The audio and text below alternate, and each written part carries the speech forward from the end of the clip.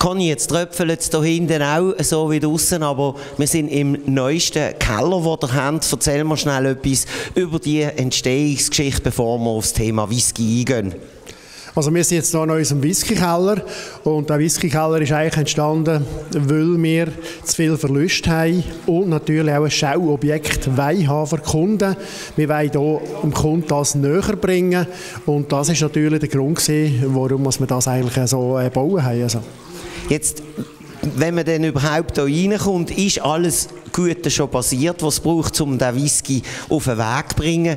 Schauen wir also in die Brennerei rein. Ihr sind dort am Brennen seit Jahren eine grosse Passion von dir. Mit wem brennst du mittlerweile zusammen? Ich habe mitgekriegt, ihr habt jetzt auf den 1. Mai etwas ganz Spezielles vor.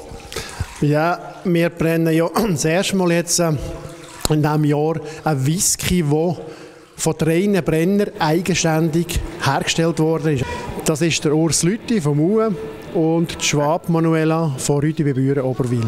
Also jeder Brenner tut einen Teil von seinem Brand in ein Fass, in ein gemeinsames Fass und dann nehmen wir nachher in vier Jahren wieder raus. Darum ist das Motto vom heutigen Tag, drei Brenner in ein Fass, in vier Jahren drei Brenner aus dem Fass. Und vielleicht in einer Kurzabhandlung, was kommt denn alles in das Fass rein, welches sind die Ingredienzien, die dazugehören? Also unser Rohstoff ist ganz klar der äh, Bierwürze. Das ist eine Würze, die extra für eine Whisky-Produktion hergestellt wird. Und die wird brennt, destilliert. Das gibt dann der, äh, der neue Spirit, der farblose äh, Schnaps eigentlich und der kommt dann durchs Fass und durch den Geschmack vom Fasskörper die äh, Aromen, die der Whisky dann auch in sich trägt, über.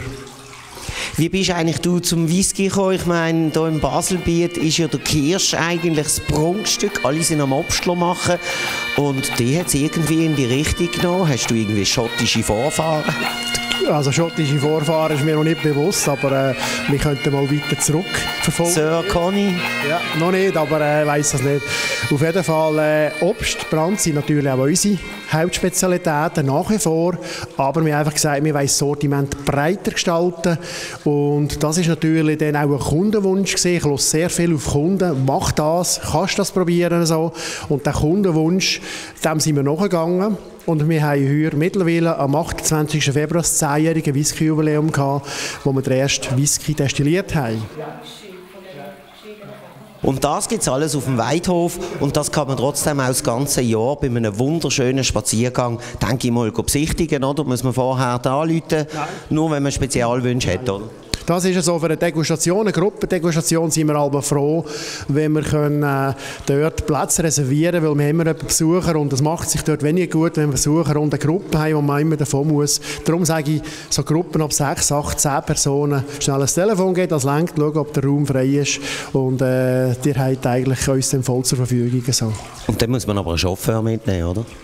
Je nachdem, ja. Aber auch nicht alle. Die, die wirklich sagen, es gibt ja, ist eine Degustation, es ist nicht, äh, äh, ganz genau so, ja.